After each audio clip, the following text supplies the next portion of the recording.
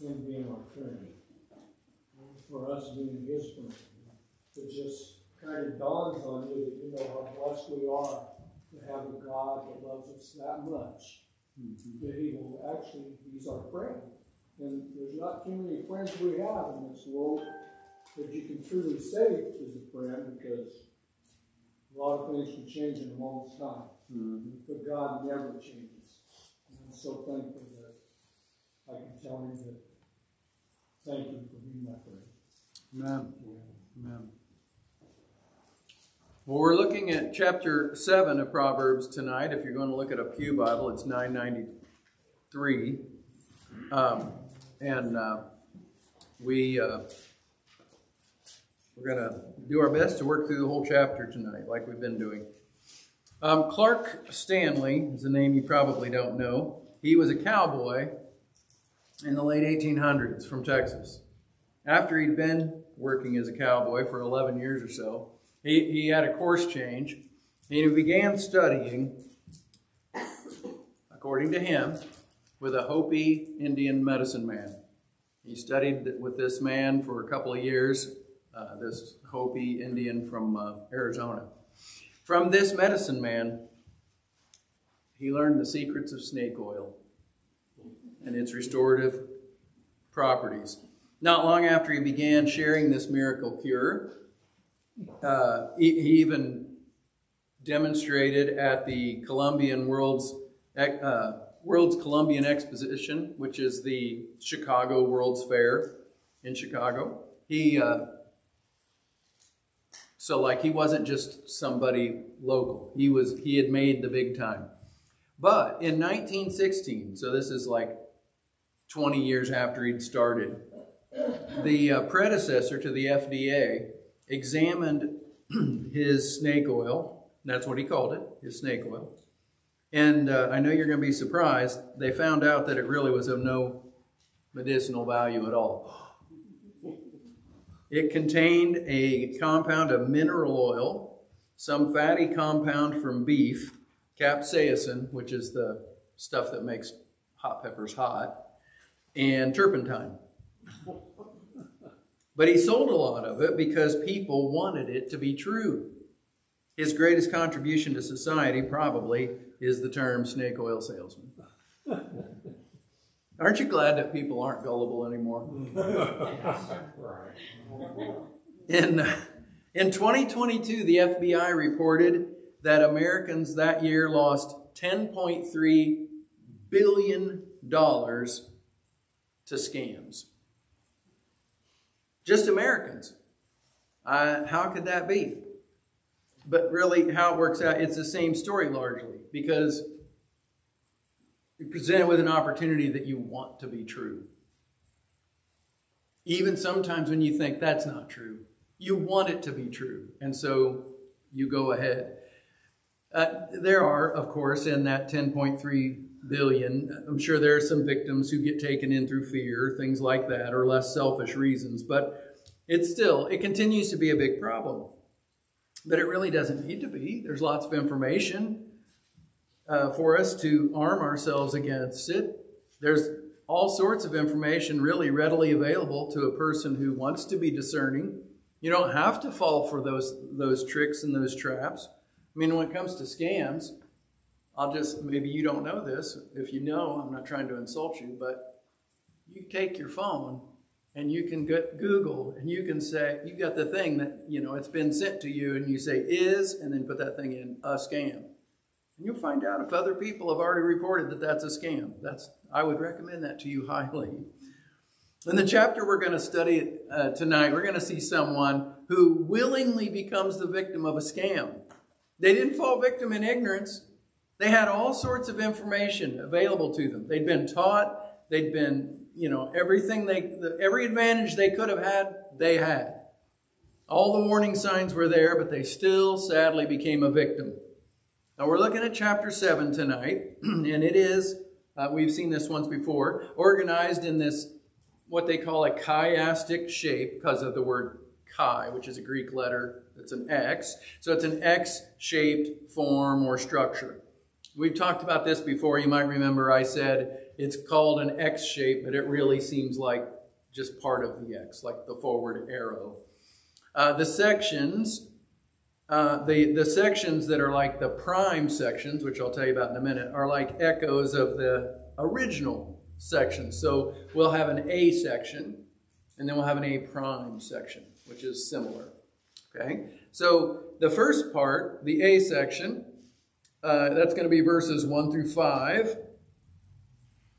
And that's a, a, call to attention. A call to attention. And uh, specifically here, a call to attention to be protected from this woman that we will learn about. So, first A section, verses 1 through 5, a call to attention. Then we have the B section, is verses 6 through 9. A simple young man wanders. A simple young man wanders. Not simple in like he was a simple young man. He didn't need much. No, he's simple because he's a fool. Uh, then the third part, letter C, section C, that's verses 10 through 20. And the, in that section, the woman in question is described and quoted.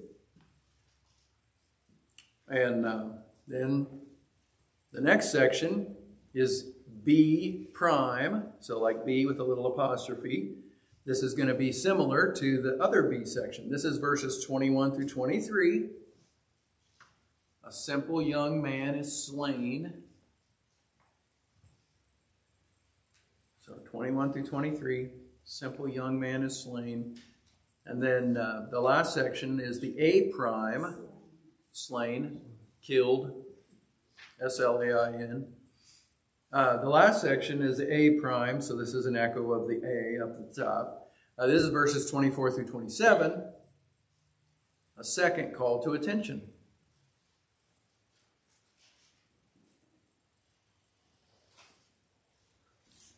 Okay.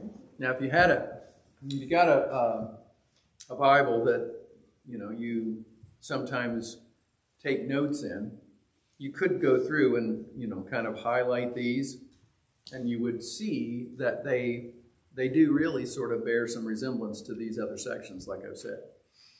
Okay, so we pick up in a sense where we left off last week. Let me read the first five verses. My son, keep my words and treasure my commands within you. Keep my commands and live, and my law as the apple of your eye. Bind them on your fingers, write them on the tablet of your heart. Say to wisdom, You are my sister and call understanding your nearest kin, that they may keep you from the immoral woman, from the seductress who flatters with her words. This sounds a lot, a part of this sounds a lot like what we talked about last week with the uh, keeping the words, treasuring the commands, writing them on your uh, forehead or fingertips, and all that stuff. It's very similar. Um, the sage here, the person, the speaker, the wise one, he's addressing a son. Is it his own son? Maybe. Rachel and I were discussing this week what we might say to someone who would make the case that verses like this, these verses, well, they're just for boys or just for men.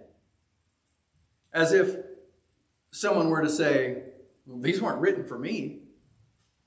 Well, I thought about that a lot, and I think Maybe the easiest way to wrap our minds around that idea is to understand that, in actual fact, none of the Bible was written to you.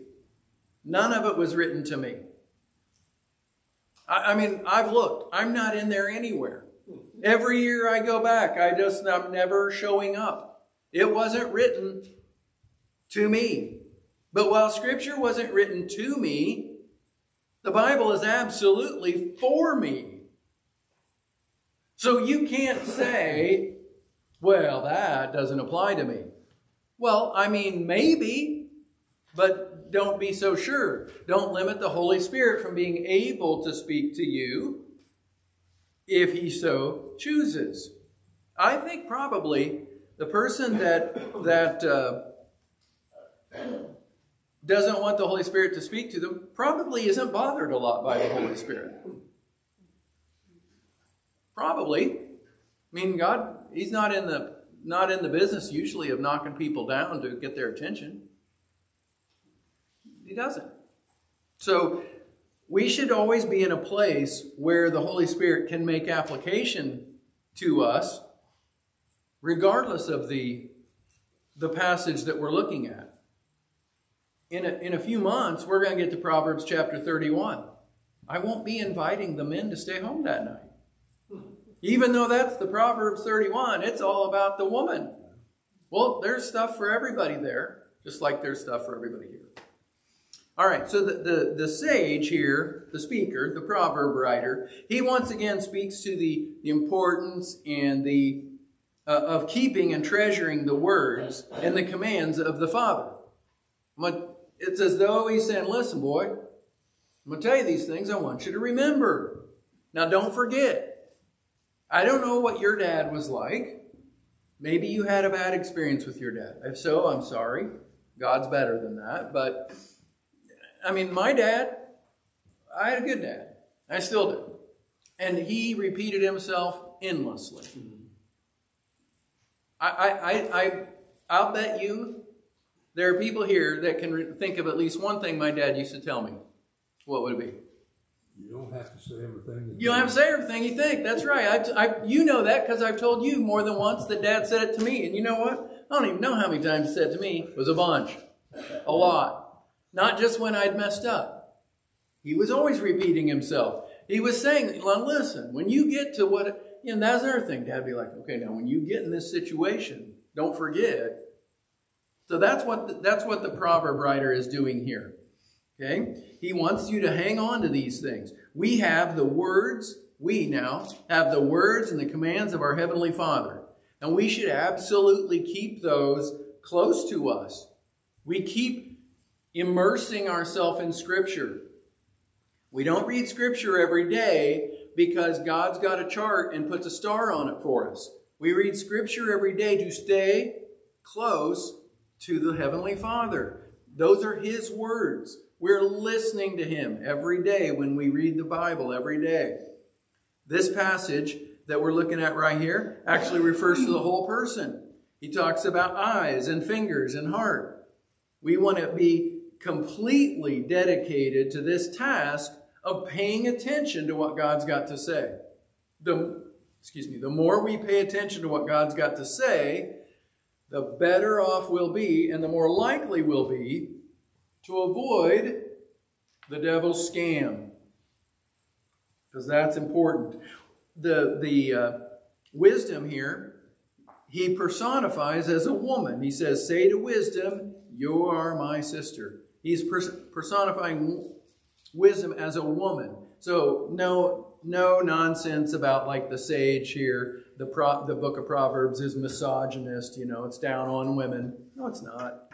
No, it talks about the wicked woman, but just, he's being specific. They're not all that way, clearly. So he says, draw close to wisdom like a, a good sister. Consider wisdom Keeping wisdom close at hand and close to your heart will keep you from the trouble that the immoral woman or man poses. She uses words to flatter.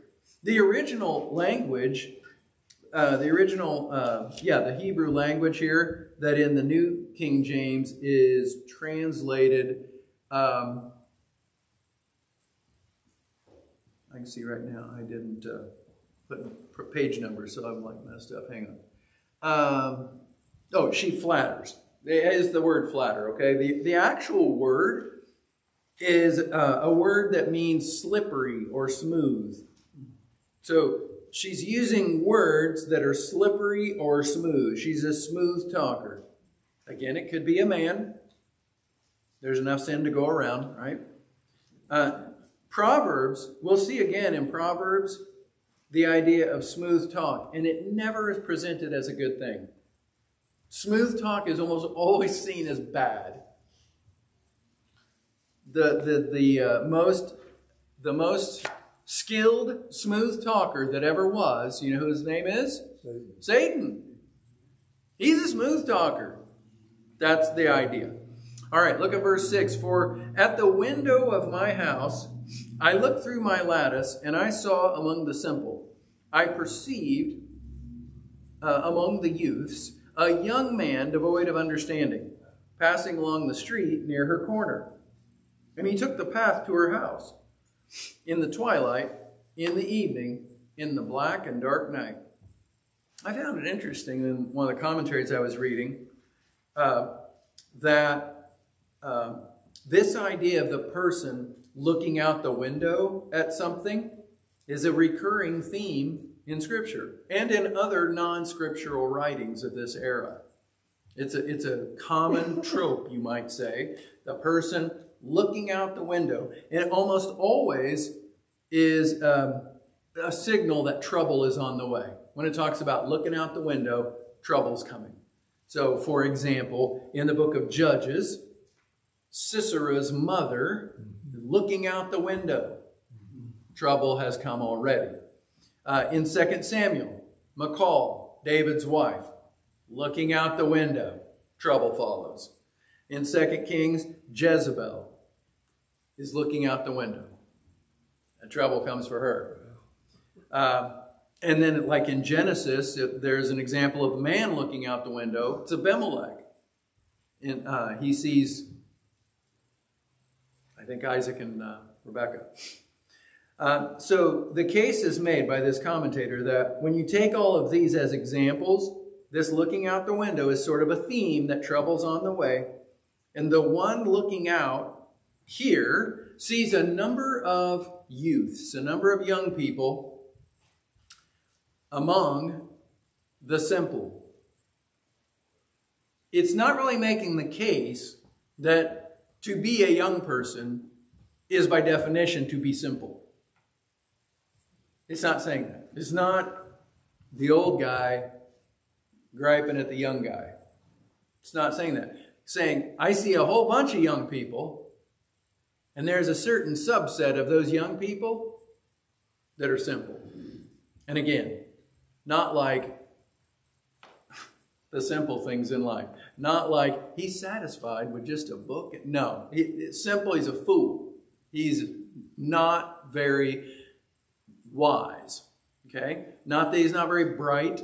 It's not intelligence. He's not very wise. He doesn't apply what he knows.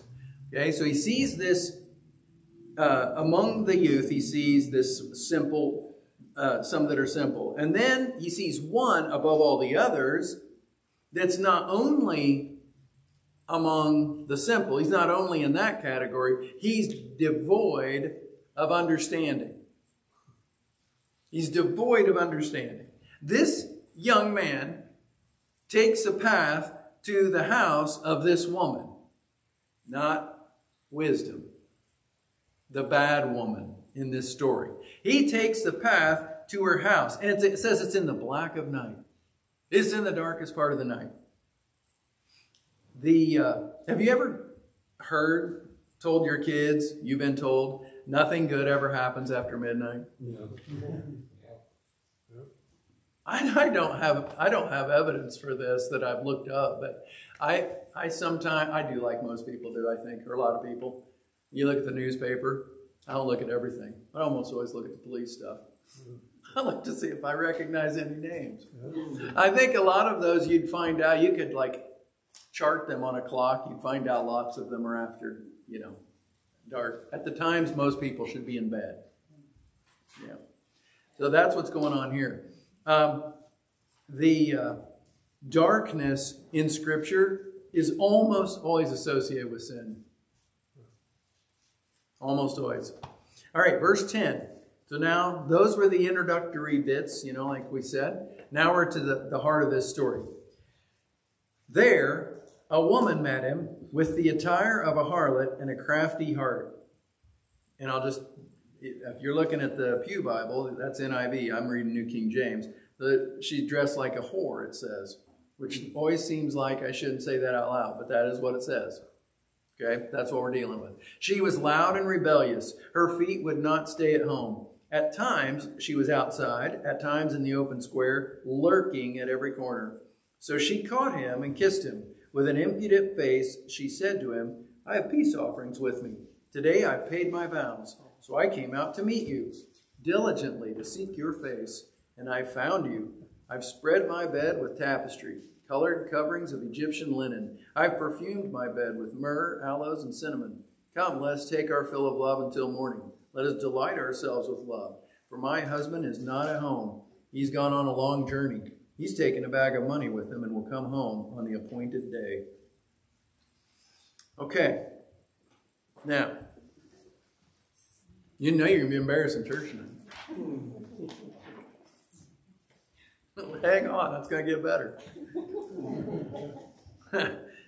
okay. I, I wonder, haven't we all at some time in the past, hopefully, you know, in the past, like back there, found ourselves getting involved with some situation that we know we shouldn't have, and then we later tried to make the case that, well, I mean, things just happen. Oh, I didn't expect it, and it just happened.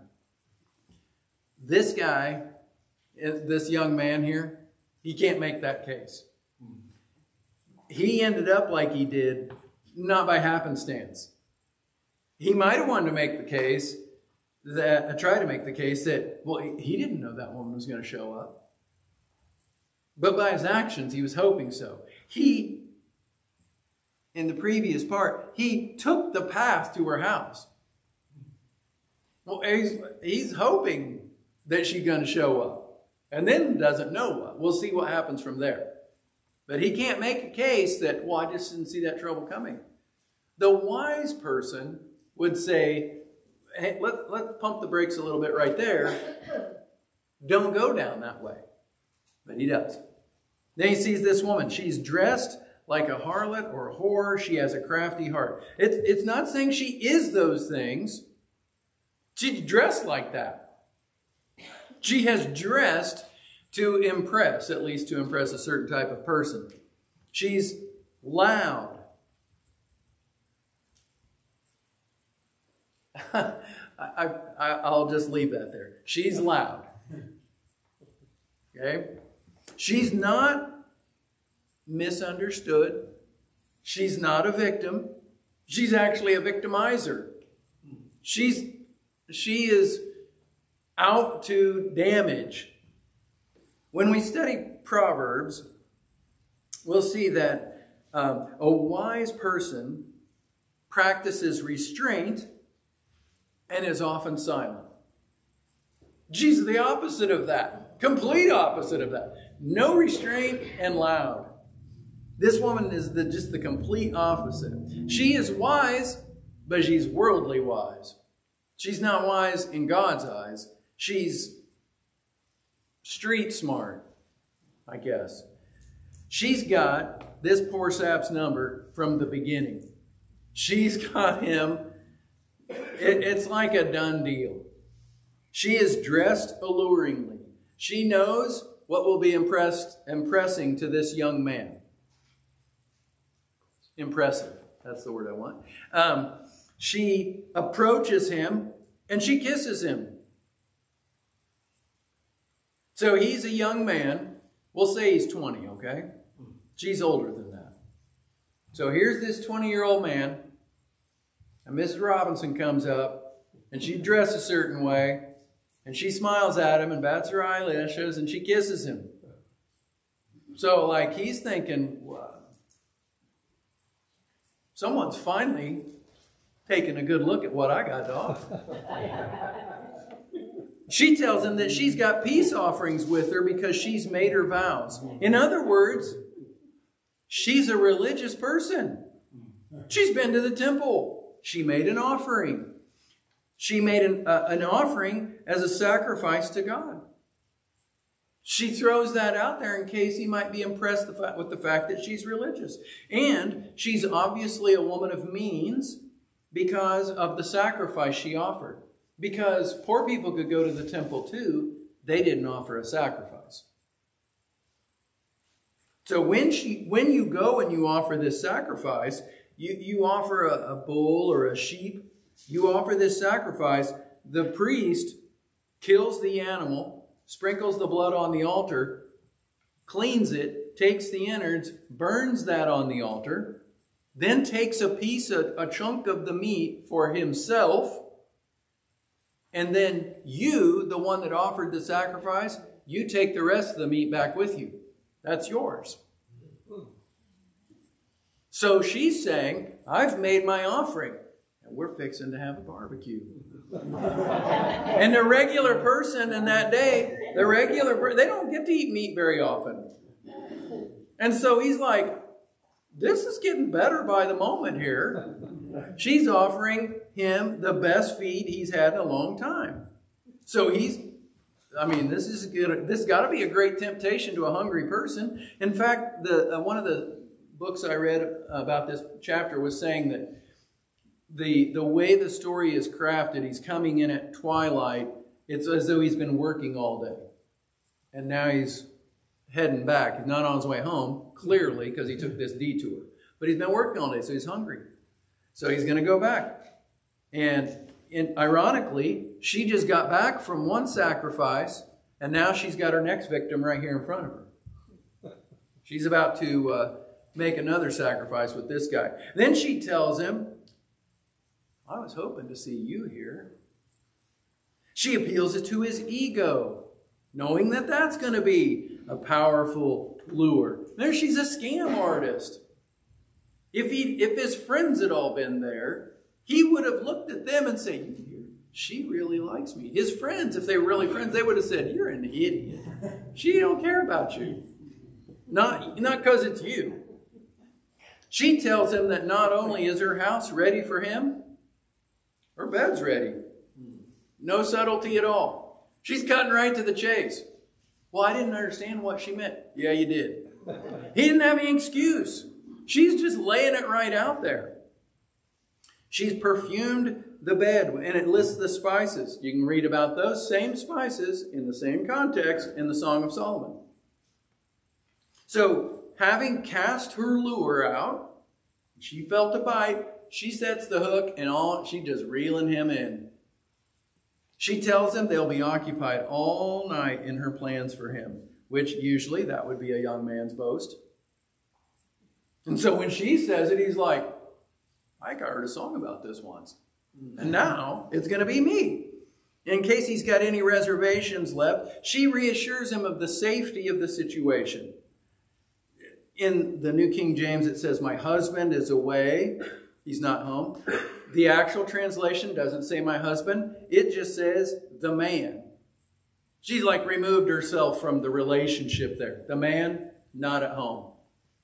He's gone and he's going to be away for a while. He's on this business trip. He's not going to be back for a while. And you might think, wait, how can she know?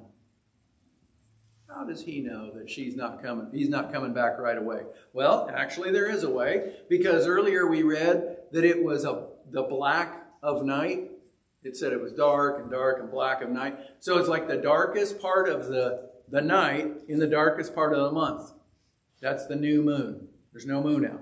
They don't have street lights, so these things mattered to them. Her husband is away on a business trip. Travelers had to be careful because of, you know, bad guys out in the way.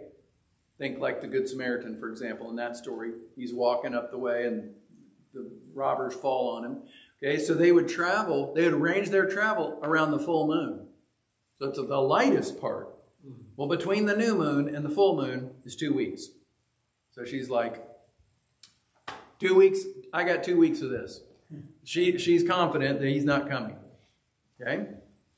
All right, so verse 21 with her enticing speech, she caused him to yield. With her flattering lips, she seduced him. Immediately he went in after her, as an ox goes to the slaughter, or as a fool to the correction of the stocks, till an arrow struck his liver, as a bird hastens to the snare. He didn't know it would cost his life. This poor fool was doomed from the beginning. He's in way over his head. Well, wait, Pastor, are you saying he's a victim? Uh, the Bible said there's no temptation but that which is common to man, and that he'd make a way of escape. It does say that, yes. However, this dude was the victim of his own foolishness. He's walking home. And whichever way home is, he's on a detour right now. He he went there like you know, there's this neighbor and she mows her lawn with a bikini on. Really, how do you know that? I'll tell you what, it's made my neck sore, but I was able to see around the. Okay, well, I mean, that's what this guy does, only more so. He's going to see what he can see. He's a victim of his own foolishness. We, you can't put yourself in situations that you know are dangerous and then blame God when we find ourselves incapable of making right choices. He should never have gone that way. The, the, if, if a person is or has been a raging alcoholic and they finally get freedom from that, you don't go where the other alcoholics are anymore. There's some things you just don't do anymore. You, you stay away from that. And, you know, I mean, we can be judgmental if we want. Well, this young man should have known better. He did know better. Well, he should have had more self control. He should have. But he's 20 years old ish. And here's this woman doing what she's doing. That's a big temptation. And he shouldn't have been there to have to fight that temptation off. I was just looking at the articles, and I it's like every picture. I every time I turn a page, there's a picture. Yeah, don't look at that magazine. Turns out there's articles in other magazines. Who would know? He shouldn't have done that. The sage says this guy's like an ox, a dumb ox, you might say, lumbering, lumbering off to the slaughterhouse. She's like, and he's like, uh, he's just going along. Or is like a bird that only sees the bait and not the snare. This, this specific, this specific temptation might not be anything like anything you deal with. But there is something that's tempting to you. And if you go toward that thing, if you put yourself closer to it with some sort of confidence that you've got that you're going to be okay. Well, I'm, I'm much closer to the Lord now than I used to be, and so I'll be able to get closer to this temptation that's dumb. I, I know. That's dumb. Don't do that. that that's, that's the way of failure and fall and possible destruction. Verse 24 Now therefore, listen to me, my children. Pay attention to the words of my mouth. Do not let your heart turn aside to her ways. Do not stray into her paths, for she has cast down many wounded and all who were slain by her were strong men. Her house is the way to hell, descending to the chambers of death. So the uh, sage wraps up this story and he says, Listen to me. Don't go there. Don't turn aside to her ways or his ways. Don't stray onto her paths or his paths. Don't, don't do that. Stay away. He says there, you know, like her, she's cast down many wounded. It's like she's got the backyard, she's like a serial killer almost. She's got the buried, they're buried back there. There's, they're, they're not really buried. Their just lives are wrecked because she's done this many times. Just stay away, he says. Stay away from her. Stay away. Stay away. Stay away. But, but Pastor, shouldn't we be concerned for her soul? Should, shouldn't we want to witness to her? No, no. You stay away from the woman. You let Sister Bonniewell go witness to that woman. You don't go witness to her. Oh, but I just want to, I want to take Jesus. Now, you, you find somebody else to witness to. There's plenty of sinners. You can't possibly witness to them all. Don't go to her. I mean, if I've got a problem along these lines, that probably I don't need to have a ministry to the uh, pole dancers. Some of the ladies in the church might want to handle that. That I, like I'll have to do something different. I can care for their soul from a long way off. I just there's some things that just don't make sense, and they sound silly when you say them out loud. But we, I mean, that's what this is saying. We have to be wise as serpents and harmless as doves. That's that's that's our call. Not to be wise as doves, and no, no, don't mix it, don't mix it up. Now, in thinking of this passage and preparing for tonight, I, I was thinking that many of us might feel pretty secure in this area. Well, like that, I, this me. Okay, I mean that's probably the case. However, I think we should remember what the Apostle Paul wrote to the Corinthians. Therefore, let him who stands, excuse me, let him who thinks he stands take heed lest he fall. Let him who thinks he stands take heed lest he fall. we can't ignore temptations. We certainly can't ignore that sex is a powerful allure.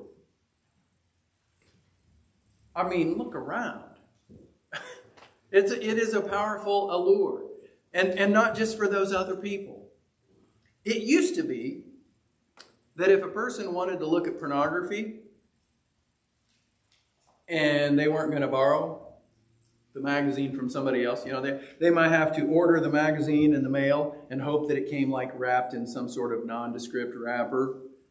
Or they would go, you know, to some seedy looking place along the highway that used to be like a Stuckey's, but now it's fallen from grace, and now it's like the Lion or whatever those things are called. You know, it's got the, the sign that's about 50 feet tall, lots of parking for truckers.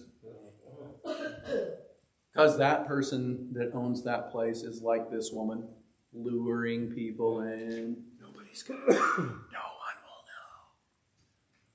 But God will know. It used to be that, that you'd have to go like that kind of a place. But now, see, it's as close as a phone. Mm-hmm. There, there's an app called OnlyFans. Don't look it up. You're just going to trust me on this. Have you looked it up, Pastor? No. But I know about it. There's an app. And this app, they, that company would like to have you understand that they have all sorts of materials on there. They have musicians on there that do like lessons and things. Okay, probably, whatever. They have sports things, sure. But really, it's a porn site. And that's what it is. It, worse than that, it's like a porn site. It's like a homegrown porn site. It's like people upload their own stuff. Sad. From 2018 to 2021, this company, this one company, their compound annual growth rate was 178% or 174%. Now, I don't know what your investments are doing. Not that. Probably not 174%. Mm-hmm. But this one did. In 2022, this one app, this one company, their revenue was $2.5 billion. That's a lot until you consider that the pornography industry in general has revenues of almost $100 billion every year. Clearly, this is a problem. And it often starts by an individual just going down the wrong path. Just gonna get, I just, I, I, I think there's something going on down there. And they go down that wrong path. It's a scam it's a scam that promises to give something, but it inevitably just takes. It takes, it, it, a person goes in in the image of God and they're left a shell. It's a bad deal. And it's one that we ought to avoid. Long, not arm's length, farther away than arm's length. So when we see a chapter like this, yeah, it's easy, I guess, to say, oh, that's not that's nothing for me. Well, maybe we ought to consider that the Holy Spirit does have something for you in a chapter like this, even if it's just, listen, fool. The person that thinks he stands needs to be careful lest he falls. Every once in a while, we got to think, you know, probably if I wasn't careful, I could end up in a bad way. So then you don't click on that thing.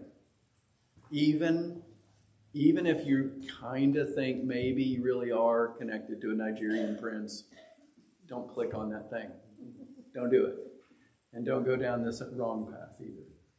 Father, thank you for your word to us tonight. And I just want to pray, Lord, that you would help each one of us, help me to keep away from things that we know going in we shouldn't we shouldn't take even one step in that direction.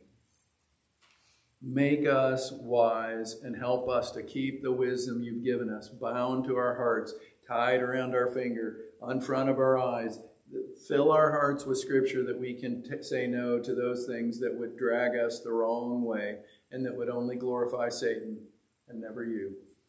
I pray that you would help each one of us, Lord, to draw closer to you. And uh, we thank you for your word to us tonight. In Jesus' name, amen. Thanks for coming tonight.